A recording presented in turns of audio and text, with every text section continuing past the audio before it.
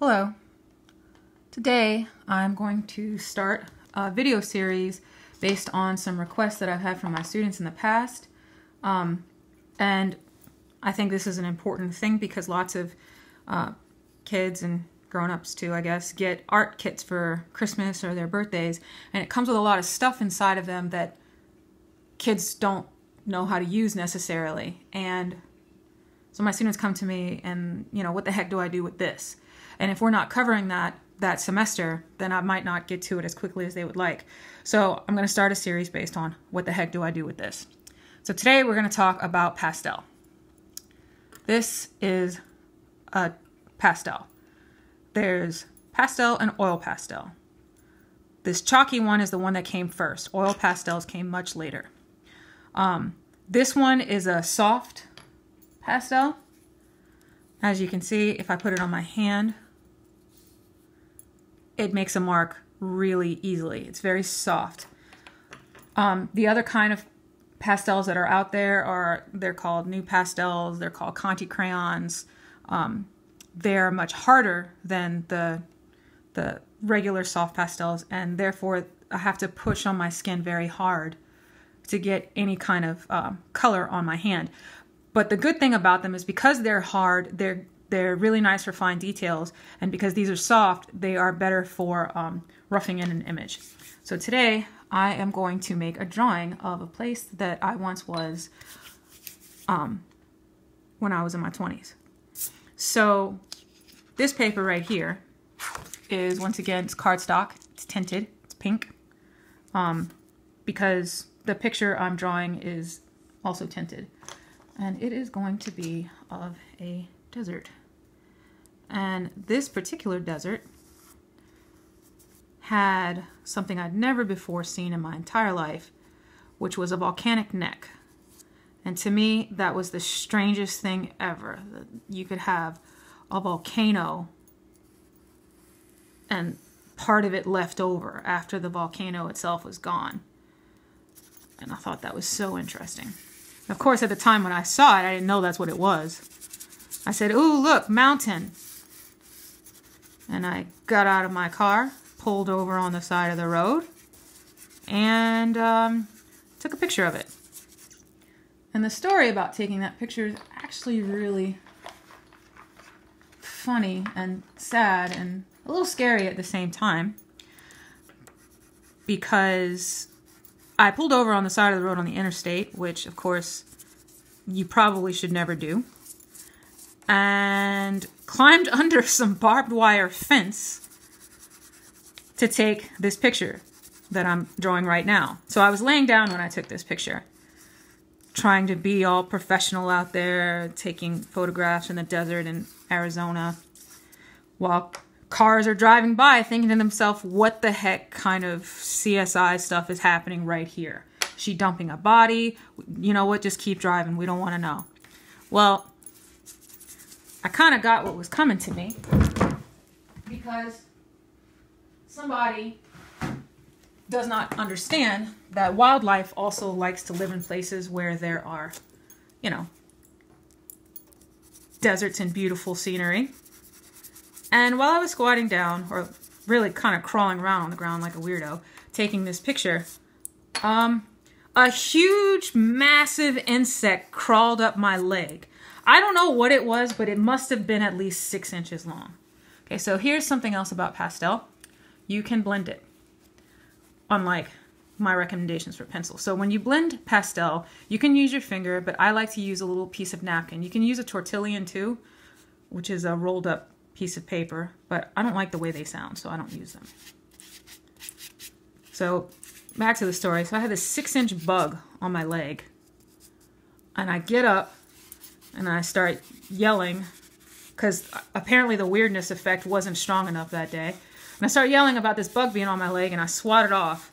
And it did not bite me or hurt me or do anything like that. But because I was a huge fan of the X-Files, I thought that the bug secretly bit me without me knowing and that in any moment I was going to become some sort of alien doomed to wander around the desert for the heinous crime of jumping a barbed wire fence and taking a picture on the side of the road in Arizona.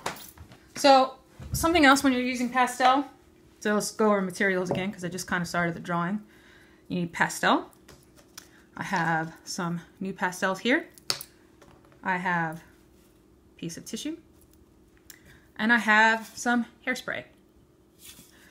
So what you're going to do with the hairspray is lightly coat what you just chalked in. And the reason why you do this is because hairspray is just sprayable glue. You can use workable fixative, um, which works, but I think it stinks and smells terrible. And, you know, why use that if I can just use some extra strength hairspray? Um, and I will tell you, the best hairspray for this, in my opinion, is hands down Aqua Net. It's cheap. You can get it almost anywhere. Gas stations will sell it sometimes, especially truck stops. And it's just super strong. It holds really well. It stinks, I think. Even the unscented one stinks, but it works. Okay, so notice that I'm using the entire piece of pastel. I'm like turning it, flipping it. That sounds like a commercial for that stupid Bop It thing. Like, what, what even was that? If I want to practice, like, flipping some toy around and, like, hitting it, like, I don't, I don't feel like I need a toy for that. Like, all of your toys can do that. You can flip them over and hit all of them. The Bop It is not special. It thinks it is, though. Only with this, because we make bright lights and jittery noises and, you know, reward you with, I don't know, music for doing it correctly. All right, another spray. So this is this is how sometimes pastel will work. Notice how it's not it's not coming off of the page at this point. It's because it's being glued down. So you build it up in layers. And if you slowly build up layers instead of just chalking in a super dark piece, you know, full force, um, it looks much more natural. This is not the purple I was looking for. You are not the purple that dreams are made out of. You are the purple that uh, 1980s um, trapper keepers and uh, gas station coffee cups have on them. Also, those Bienfang sketchbooks have that same kind of purple on them. Ooh, and with the pink, now it's complete. Now we're moving into Lisa Frank territory. Not hating on Lisa Frank. I wanted to be her so bad when I was a kid. I should make some Lisa Frank drawings. I don't have an airbrush machine though. This looks like a muddled up, God knows what mess. Like, what even is this at this point? You can't even see. You're like, is this supposed to be something? Yes, it is. And hopefully, it will be something in the next two or three minutes. Otherwise, I'm going to be very annoyed, but not surprised. Okay, so I think that's all my base colors. Yeah, that'll work. All right, spray, spray. Okay, now that I have most of my base colors in, now I can start putting in more detail.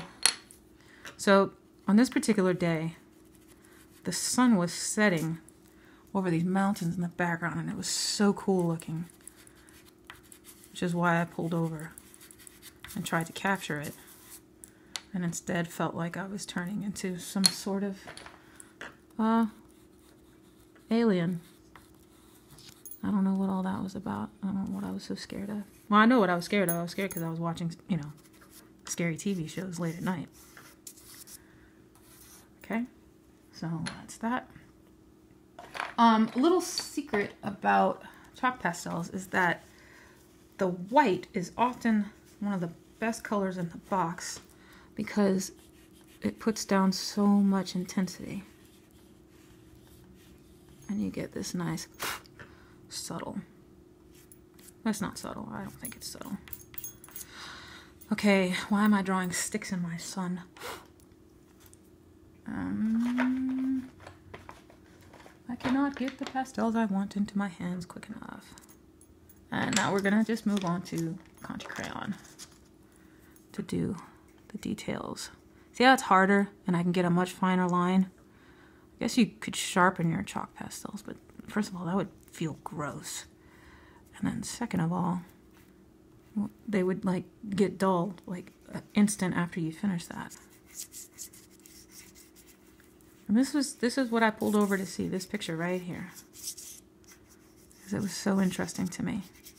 Because where I'm from, um, there are no roads. I'm just joking. That's that's a Back to the Future line. We have roads. We have a lot of bridges, but we also have roads.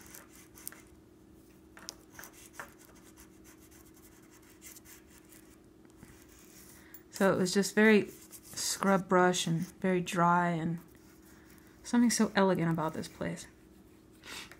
On the side of the road. On, I can't even remember which highway. It was a dark desert highway.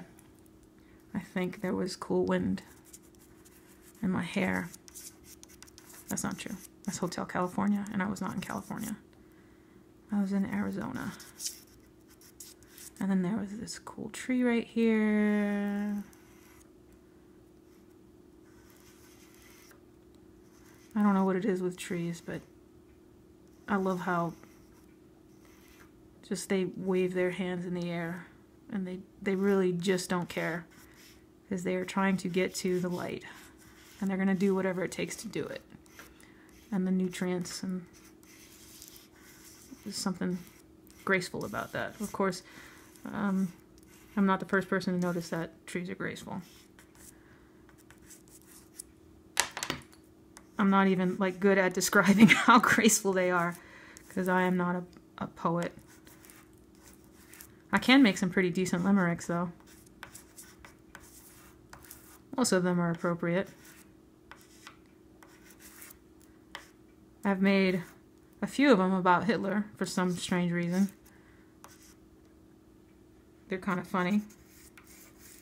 I guess I should tell one now, now that I've got everybody wondering. Uh, there once was a man from Berlin whose mustache was incredibly thin. Um, everyone laughed at his silly mustache, so he started a war but didn't win. That's so dumb. That is not the right color. And that is my Hitler. Limerick. I wrote another one in court because I got a traffic ticket. Sitting in court isn't fun. I'd rather be out in the sun. But I got a ticket, and since I can't fix it, I'll pay the whole fine till it's done. Writing limericks is a great way to pass time in, in the courtroom. Because you're just kind of standing there, smiling to yourself. Well, you're not standing, you're sitting quietly. While the judge is telling everybody how they're a failure in society and you're just kind of smiling. Why are you smiling? You're in court. I thought of a funny limerick about Hitler. Do what now? I feel like I just pub published my first limerick. Now it's out there for everybody to see and use. Um, I don't know what's going on with this smoky green tree, but it has gotten clearly off the rails. Because now that my mountain, it's not a mountain, it's a volcanic neck, is getting lost. And there was like another barbed wire fence. I'm glad I didn't go to this barbed wire fence because I mean, Whew. If the side I was on had the six inch bugs, I mean, what would this have had? Like a 40 inch bug. You know, and it wasn't even the bug's fault. It was my fault because that's what you get for like, ew, what did I just do? Stop that. I'm putting you down. Like, as in, you're not a good uh, what are you? Pastel. Do so basic. You're a 10 on the pH scale. That's a put down. And, um, sun. Get some color on you. Even though the sun is not. Um, this is starting to look messy again. That's the other problem with pastels is that they can look messy real fast. One more spray. And I think I'm like almost done here. Why do all my trees look just like this? Like, if you go back to the video on drawing a quick landscape, you're going to find that the tree looks just like this. And it's on the same side. I'm going to have to start making sure that I stop doing that. Okay. Um yeah, so this was uh this is where I was at in Arizona.